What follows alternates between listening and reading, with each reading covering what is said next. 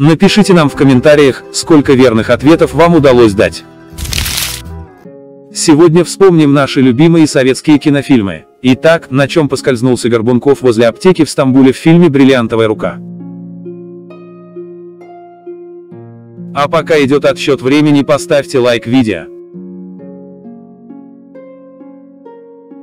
Согласно сценарию, Семен Семенович должен был поскользнуться именно на банановой шкурке. Когда дело дошло до кадра, где он наступает на кожуру, начались проблемы. Никулин просто не смог сделать это реалистично. Тогда было принято решение заменить банановую кожуру более скользкой арбузной коркой. По произведению какого писателя был снят фильм «Иван Васильевич меняет профессию»?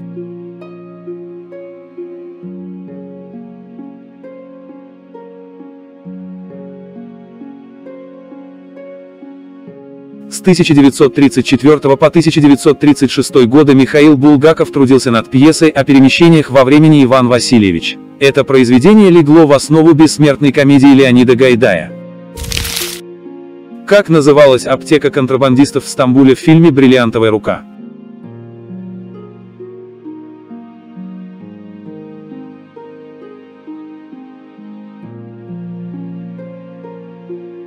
Фильме герои Никулина и Миронова проходят по улице Старого Стамбула возле аптеки контрабандистов. Однако за границу успешно отыграли исторические кварталы города Баку. Их правдоподобно дополнили заграничными вывесками. И аптека контрабандистов как раз получила вывеску с названием Чеканук. В каком кинофильме прозвучала фраза «Эх, Марфуша, нам ли быть в печали?»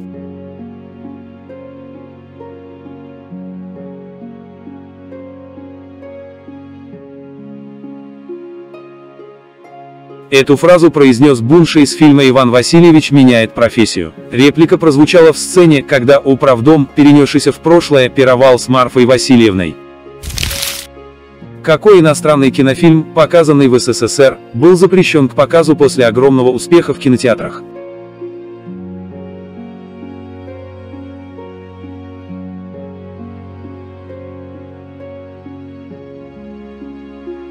В 1967 году в СССР состоялась премьера фильма «Фантомас». С огромным успехом было показано три части картины. Но после этого по СССР прокатилась волна преступлений. Бандиты представлялись фантомасами. Тогда фильм решили запретить к показу. Кадр и с каким словосочетанием вырезала цензура в самом начале фильма «Кавказская пленница».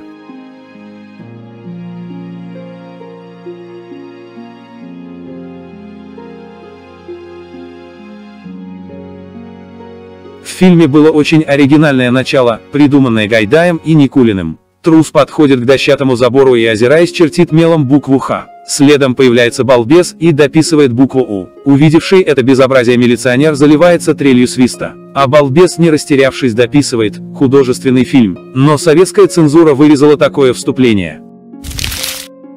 Какое дерево косой из джентльменов удачи называл дерево там такое?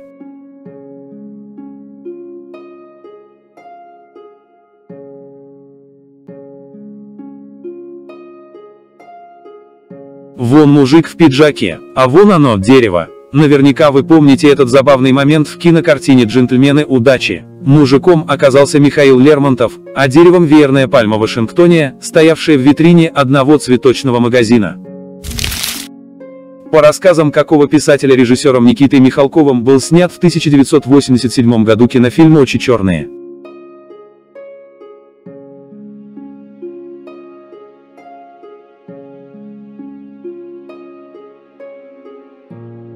Очень черный советско-итальянский художественный фильм 1987 года режиссера Никиты Михалкова, снятый по мотивам нескольких рассказов Антон Павловича Чехова, включая знаменитую «Даму с собачкой». В главных ролях Марчелло Мастрояни, Елена Сафонова, Всеволод Ларионов, Иннокентий Смоктуновский. Какой советский фильм был снят позже других?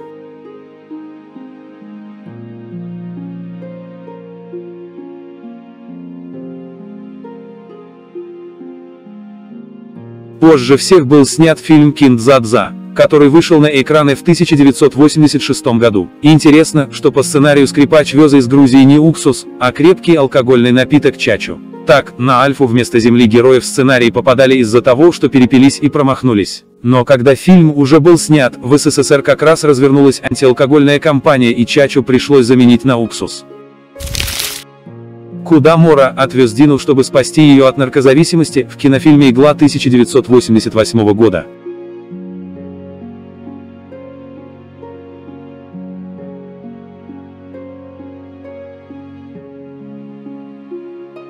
По сюжету фильма Мора, которого играет Виктор Цой, приезжает в Алма-Ату с целью вернуть деньги, которые ему должен знакомый по имени Спартак, и останавливается у своей старой подруги Дины. Наблюдая за ее странными знакомыми, он понимает, что она стала наркоманкой, а ее квартира превратилась в место сбыта наркотиков. Мора увозит Дину к Аральскому морю, где она начинает выздоравливать. В фильме даже показан корабль, который Мора и Дина находят на территории Аральского моря. Научно-исследовательское судно «Гидролог».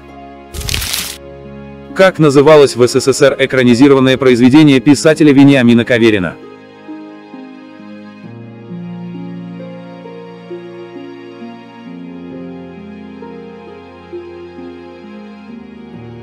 «Два капитана» — это приключенческий роман Вениамина Каверина, написанный в 1938-1944 годах. Сюжет повествует о жизни Александра Григорьева из провинциального города Энска. Он с честью проходит через испытания беспризорностью, взрослением, войной и любовью. Роман был несколько раз экранизирован советским кинематографом.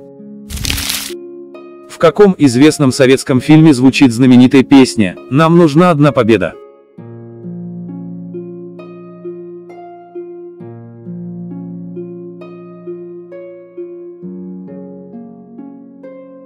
Знаменитая песня «Нам нужна одна победа» была написана для фильма «Белорусский вокзал» специально для Нины Ургант. У актрисы во время ее исполнения в кадре была только одна задача – не заплакать самой, потому что все, кто был в тот момент на площадке, не смогли сдержать слез.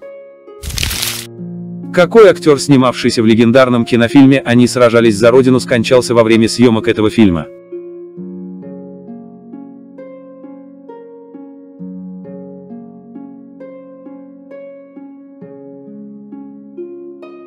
В картине Сергея Бондарчука они сражались за родину свыше 20 ярких ключевых героев, солдат и офицеров из стрелкового полка, которые защищают подступы к Сталинграду и вынужденно отступают под немецким напором. Экранизация героического романа Михаила Шолохова стала последней экранной работой актера Василия Шукшина. Шукшин скончался во время съемок, потому Лопахина озвучил уже Игорь Ефимов, а в двух сценах с Нонной Мордюковой доснялся Юрий Соловьев, когда-то учившийся в Авгике вместе с Шукшиным.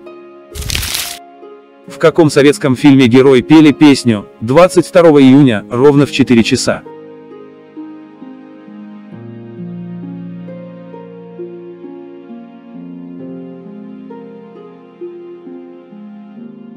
«Судьба» — это советский широкоформатный кинофильм 1977 года. Продолжение фильма «Любовь земная» по мотивам романа Петра Проскурина. Герои фильма, отправляясь на войну, поют песню 22 июня, ровно в 4 часа. Слова песни были сочинены поэтом Борисом Ковыневым на музыку популярного вальса ежи петербургского «Синий платочек». Песня сочинена непосредственно после начала войны, в период с 22 июня по 29 июня 1941 года, и мгновенно распространилась по всей стране. В ресторане с каким названием трудились герои советской комедии «Дайте жалобную книгу». А пока идет отсчет времени поставьте лайк видео. Фильме Эльдара Рязанова «Дайте жалобную книгу» рассказывается о московском ресторане «Одуванчик», который пользуется у посетителей дурной славой. Персонал хамит и нерадиво обслуживает клиентов, кухня отвратительна, жалобная книга всегда занята. И все бы так и осталось, если бы в это злополучное место не пришел журналист газеты «Юность» Никитин и его коллеги. В каком звании был легендарный сотрудник Мура Глеб Жиглов в кинокартине «Место встречи изменить нельзя»?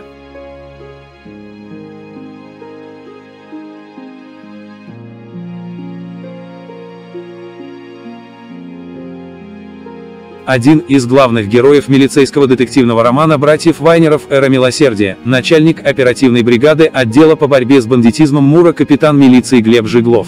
В экранизации романа роль капитана Жиглова сыграл Владимир Высоцкий.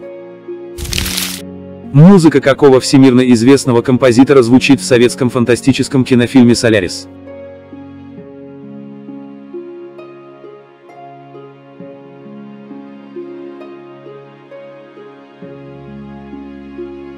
Фильме Андрея Тарковского «Солярис» звучит переложение фоминорной хоральной прелюдии Иоганна Себастьяна Баха «Ich rauf zu dir, Herr Jesu Christ». Это произведение известно под названием «Слушая Баха, Земля».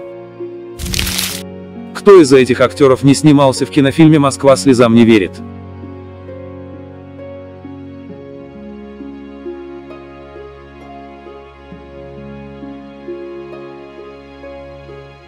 В фильме «Москва слезам не верит» Валентина Ушакова сыграла свекровь Антонины, Олег Табаков, любовник Екатерины, Лия Ахиджакова, директора клуба знакомств. Наталья Андрейченко в картине задействована не была. Кем по специальности была героиня Лии Ахиджаковой в кинофильме «Гараж»?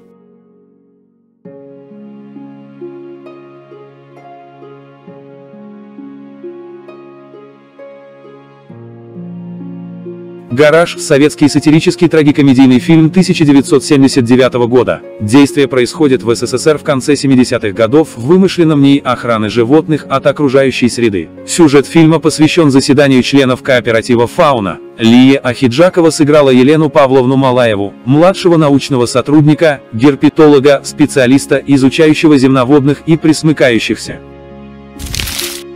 А теперь традиционный бонусный вопрос без ответа. Как называется фильм 1987 года о Галицко-Волынском князе 13 века, основателя Львова, из ролика?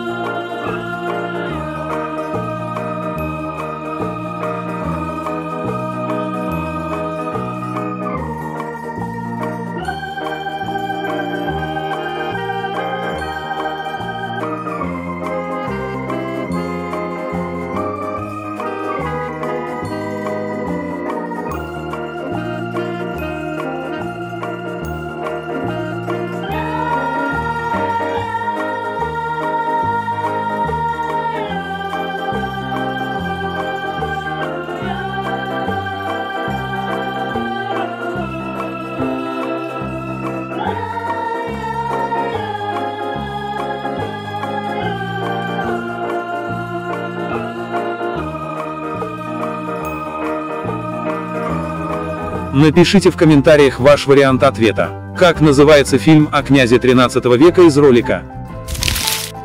Надеемся, что вам понравилось. Мы порадуем вас еще массой увлекательных тестов на различную тематику. Подпишитесь на наш канал и вас каждый день здесь будет ждать новый занимательный тест.